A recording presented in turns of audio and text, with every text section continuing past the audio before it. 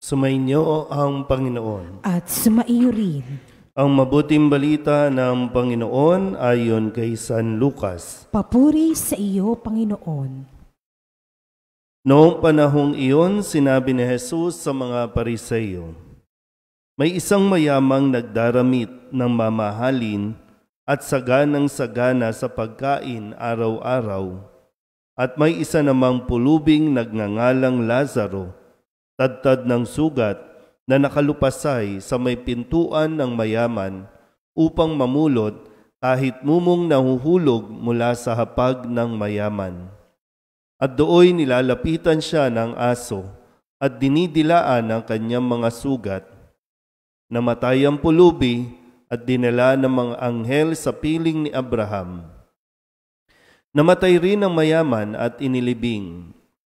Sa gitna ng kanyang pagdurusa sa Hades, tumingala ang mayaman at kanyang natanaw sa malayo si Abraham, kapiling ni Lazaro, at sumigaw siya, Amang Abraham, mahabag po kayo sa akin. Utusan ninyo si Lazaro na isawsaw sa tubig ang dulo ng kanyang daliri at palamigin ang aking dila, sapagkat naghihirap ako sa apoy na ito. Ngunit sinabi sa kanya ni Abraham, Anak, alalahanin mong nagpasasa ka sa buhay sa ibabaw ng lupa, at si Lazaro'y nagtiis ng kahirapan. Ngunit ngayoy, inaaliw siya rito, samantalang ikaw na may nagdurusa. Higit sa lahat, inilagay sa pagitan natin ang isang malaking bangin upang ang mga narini ay hindi makaparian at ang mga nariyan ay hindi makaparini. At sinabi ng mayaman, Kung gayon po, Amang Abraham, ipinamamanhi ko sa inyong papuntahin si Lazaro sa bahay ng aking ama, sapagkat ako'y may limang kapatid na lalaki. Paparoonin nga ninyo siya upang balaan sila at nang hindi sila humantong sa dakong ito ng pagdurusa. Ngunit sinabi sa kanya ni Abraham, Nasa kanila ang mga sinulat ni Moises at ng mga propeta. Pakinggan nila ang mga iyon. Hindi po sapat ang mga iyon, tugon niya. Ngunit kung pumunta sa kanila ang isang patay na muling nabuhay, tatalikdan nila ang kanilang mga kasalanan. Sinabi sa kanya ni Abraham, kung ayaw nilang pakinggan ang mga sinulat ni Moises at ng mga propeta, hindi rin nila paniniwalaan kahit ang isang patay na muling nabuhay. Ang mabuting balita ng Panginoon. Pinupuri ka namin, Panginoong Heso Kristo. Isang magandang umaga po sa inyong lahat. Muli sa umagang ito, tayo ay pinaalalahanan na pagkatapos ng buhay natin dito sa lupa, mayroon tayong kahahantungan. Dalawa lang naman yan, kung langit o impyerno. Kung tutusin, kung sakali ngayon, marahil, malalaman natin kung saan talaga tayo mapupunta. Saan kaya? Kayo kaya saan? Kaya ngayon, ang panyaya sa atin, suriin natin mabuti kung paano tayo namumuhay.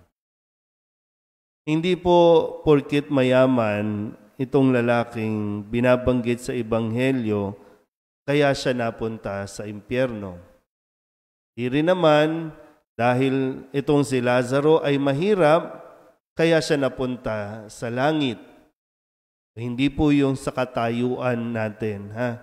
Hindi dahil mayaman, masama. Hindi dahil mayaman, sa impyerno. Hindi dahil mahirap, mabuti, kaya punta tayo sa langit. Titing ko po, dahil yan sa ating pamumuhay. Kung babalikan natin, sinabi ni Kristo, anuman ang ginawa ninyo sa aking kapatid, ay ginawa ninyo sa akin. So nakasalalay ang atin pong kalagayan pagdating ng araw sa kung ano ang ginawa mo at sa kung ano ang hindi mo ginawa na dapat mong ginawa. Balikan natin itong dalawang ito. Itong mayaman kasi, alam, isang malaking kasalanan ang meron kang kapasidad para tumulong pero hindi mo ginawa. Kasi napakayaman niya na eh. Nagsusuot ng maraming mamahaling gamit, damit, saganang sagana sa pagkain araw-araw, Actually, nagsasayang pa nga eh.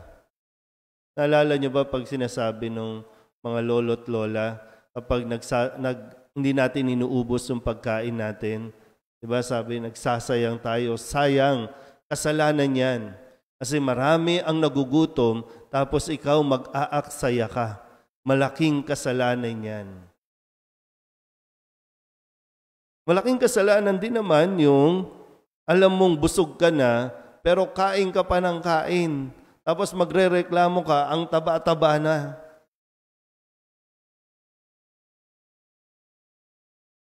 Ano? Nasaktan. Lalaki na ng bewang nyo. Bewang natin. Tapos pag nagkasakin, eh, sisisi, ano, sisisihin ng Diyos. Eh, sinabi namang, no, alagaan, tingnan ang pagkain. Minsan, kapag no, Kahapon nag-attend po ako ng, ng kasal. No? Siyempre, pag kasal, may reception. Alam niyo yung takaw tingin? Diba yung ang daming kukunin? Ilalagay lang sa plato, lalo na pag buffet. Tapos di naman uubusin. Maraming matitira. Pwede pa sanang sinaron yung iba. Pero hindi eh. Wala eh. Itatapon na lang.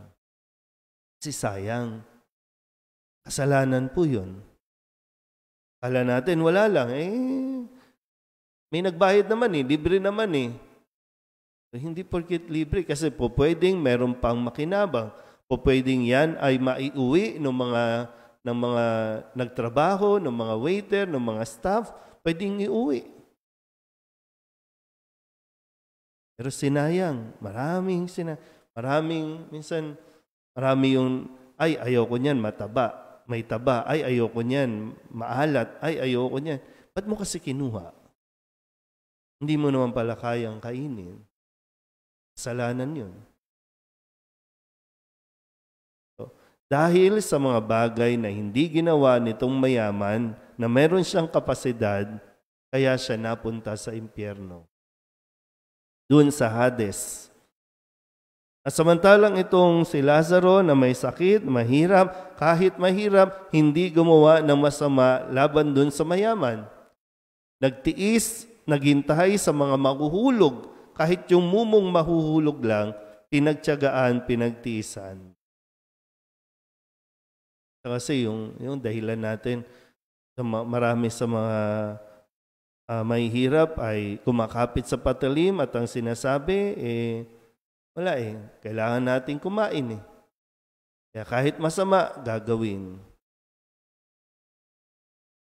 Kaya siguro no, maganda rin na sana mapaalalahanan natin itong mga opisyalis na inaasahan natin na ngayon ay nagpapasasa naman, no, marami nagpapasasa sa mga napakasasarap na pagkain, araw-araw, gabi-gabi, sa mga conferences, sa mga meetings, Samantalang yung mga jeepney drivers hanggang ngayon, wala pa rin, nga nga. Kaya nang iba, napipilitan magkanya-kanya. Nawawala yung unity na sa, dapat tigil pasada, pero sa atin, sa lugar natin, may mga pumapasada. Kasi walang pagkain eh.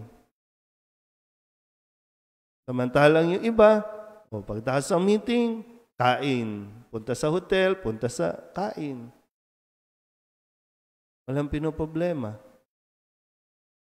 Pero muli, no? Pagdating ng araw, either mamomoblema tayo sa katayuan natin o magiging masaya tayo sa magiging katayuan natin. Kaya ngayon pa lang, suriin ng mabuti paano tayo namumuhay sa ngayon. Amen?